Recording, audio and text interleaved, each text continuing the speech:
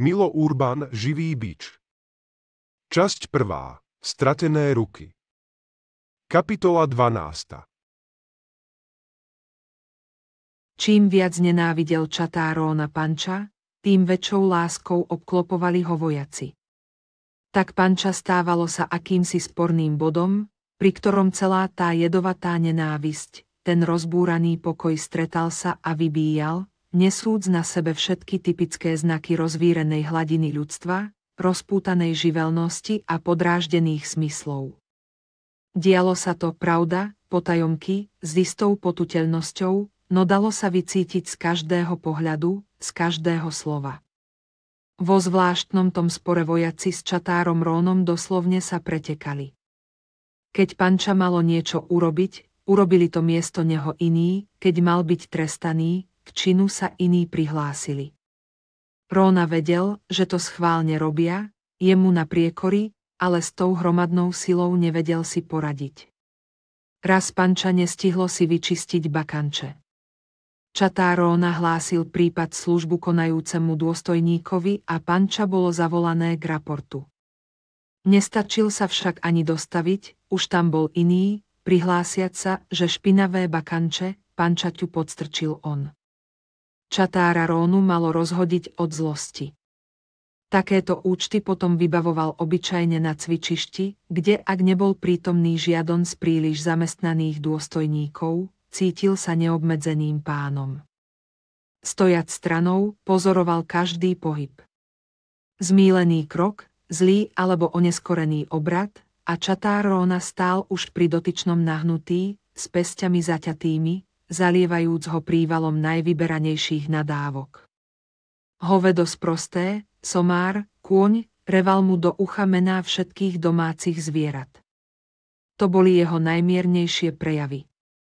Najčastejšie a najradšej byl. Boli prípady, keď to nešlo, že postavil si celú čatu do jedného radu, zavelil, pozor a zaúškoval od kraja.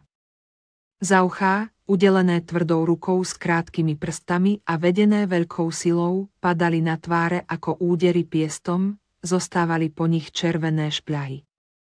Do očú náhle, mimovoľne ako si vbehávali veľké slzy, v ktorých sa slnko roztiekalo v ligotavú mláku, predmety černeli i zbiehali sa v čierne, veľké kruhy, točiace sa vo vzduchu. Dve slnká vtedy boli, čierne a biele. Hlavy sa pod nimi prudko strhávali, šklbali sebou, duše zapaľovali jediným ohňom a hoci nik ani hlásku zo seba nevydal, zdalo sa, ako by vo vzduchu škrípali ťažké drevené závory. Pri takom údere raz pančaťu vyhrkla z nosa krv. Neutrel si ju. Vojaci vidiac, ako bledočerveným pramienkom stieka mu po ústach na bradu a odtiaľ ako kvapká na uniformu, pocítili na chrbte divné, drviace zimomriavky. Bolela ich tá cudzia svetle červená krv, lepila sa im na duše a prisýchala tam v hnedej, ťažkej usadline akejsi spoločnej, všeľudskej krvi. Diabol, diabol, diabol šepkalo čosi v nich. Lež vtedy to nepatrilo ani Rónovi. Vtedy to slovo malo svetový význam, skrývalo v sebe svetovú bolesť. Bolo ono ako vlna vrhnutá so do priestoru. Duše ako rádiové príjimače ju zachytávali a opakovali. Diabol, diabol, diabol. Najťažšie šli vojakom tzv. radové pochody, keď 80 mužov postavených do čelnej fronty muselo ísť tak, aby sa rad neprehol. Na prvý pohľad nebolo v tom nič ťažkého, ale keď došlo k prevedeniu, rad sa skoro vždy prehnul, a čatá Róna zúril. Behal od jedného k druhému, kopal do členkov, zaúškoval, hrešiac besný. A keď ani to nepomáhalo, Róna zavelil. K zemi. Či už bolo blato, či nie, vojaci si museli ľahnúť na zem. Stalo sa, že bolo pred nimi práve lajno alebo mláka, no vojaci nesmeli vyberať. Ako boli oblečení, museli sa hodiť na zem, do najväčšieho kvasu a zababraní na posmech, museli ísť potom mestom. To všetko boli by ešte zniesli. Najhoršie však bolo, že blato z uniformy, ktorá musela byť čistá, nechcelo sa pustiť. Čistiac ju, vojaci neraz prekliali celú vojnu. Časom sa stalo, že spoludržanie medzi vojakmi z neznámej príčiny popustilo. Tu potom vzniklo celé peklo zrádzania, špinavého udavačstva a intrík, ktoré často dostali sa aj medzi dôstojníctvo. Boli to rozličné chýry o zneužívaní vojenského materiálu, o podvodoch s potravnými článkami, ktoré sa z vojenských skladíšť dostávali do rúk rozličných priekupníkov. Tieto chýry poletovali z úst do úst, najviac roztrpčovali vojakov, ktorým jesť dávali len toľko, aby hladom nepomreli. Vedelo sa, ako dôstojníctvo má všetkého dostatok, ako niektorí z nich stvárajú veselé pohúľanky s dámami z polosveta, prechádzajúce v pusté orgie. Byty vyšších dôstojníkov boli dvormi malých oligarchov, v ktorých sa hodovalo od rána do večera a od večera do rána tým najsurovším spôsobom, víno tieklo a v mlákach toho žtastého moku tančili nahé ženy. Tu, v meste, tiež záchvevy vojny boli zrejmejšie.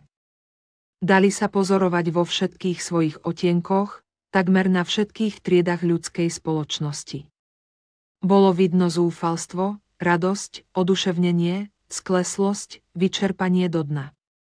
Jedni topili sa v slzách, iní dúfali a iní zas so strachom očakávali budúcnosť. Nedeľami prichodili dedinčania s batohmi na chrbtoch navštíviť svojich milých pri vojsku alebo v nemocniciach. Prichodili zhrbené maminky, odchovavšie celú pec detí, prichodili ženy s okradnutým náručím, odkázané na liché dni slamenného vdovstva. Úhorom ležali mladé, mocné, k plodeniu stvorené telá. Dali sa vidieť po chodbách nemocnice soptiace životom, ako sa zhovárali so svojimi mužmi, žobrákmi, ktorí sa mali vrátiť k ich lonu a vyviesť z neho pokolenie budúcnosti. Istej takej nedele prišiel staručký šedivý otec navštíviť svojho syna, ktorému črep zo šrapnela uviazol v mozgu. Operovali ho, ale mozog pod tlakom krvi vyvalil sa s meklým miestom von, utvoriac tak akoby novú hlavu. S očami privretými chodil neborák po nemocnici celé týždne veriac, že vyzdravie a zdraví sa vráti domov. Prisviečali mu všetci, všetci ho udržiavali v tej nádeji, ale tej nedele nastalo náhle zhoršenie a vojačik v náručí svojho staručkého otca vypustil dušu. Zatlačiac mu oči, otec sa prežehnal, vyšiel pred nemocnicu na schody, zakryl si rukami tvár a skúčal tam tak hrozne, že okolo idúci zapchávali si uši a utekali preč. A také obrazy dali sa vidieť denne. Ilčík, keď mal voľno a šiel do mesta, videl nejeden. Zhnusilo sa mu i pozerať sa na ne. Zdalo sa, že celý svet je jedinou krvavou ranou, jediným výkrikom bolesti. Ale miera ešte vždy nebola dovršená, vlaky, pravda, privážali ranených a mŕtvych boli už celé cintoríny, no ich miesta nahradzovali nové čaty, nové pluky, noví, vybratí, zdraví ľudia. Krajiny na míle ďaleko otriasali sa výstrelmi z diel. Obzory za teplých letných nocí farbili horiace dediny do červena. Fronty pod náporom útokov prehýbali sa sťa obrovské pásma raz na tú, raz na inú stranu. Kadiel prešli, zostali len ohorené brvná, zdochliny a granátmi rozrité polia. Zem pod tisícami bežiacich nôh stenala. Doma plakali hladné deti. Matky s cedulami v rukách v dlhých radoch stáli pred obchodmi a prosili o chlieb. Ale chleba nebolo. Boli len ceduly. A noviny písali o víťazstve, o ústupe nepriateľských vojsk, prelamovali fronty ako triesočky na kolene, porážali, zajímali na tisíce nepriateľských vojakov a na konci jasali, púšťali do vzduchu slovné vzducholode. Vojna však trvala ďalej. Sťaby kto si bol švíhal čarovným prútikom, dlhé rady vojska, strojových pušiek a diel valili sa zo zeme. V kostoloch sa konali služby Božie za víťazstvo zbraní. Svet sa zamotával do akejsi obrovskej, strašlivej siete, z ktorej, ako sa zdalo, žiadneho východiska nebolo. Vojaci mali v žalúdkoch hlad a v košeliach vši. Oduševnenie, ktoré ich spočiatku ešte udržiavalo, haslo zo dňa na deň.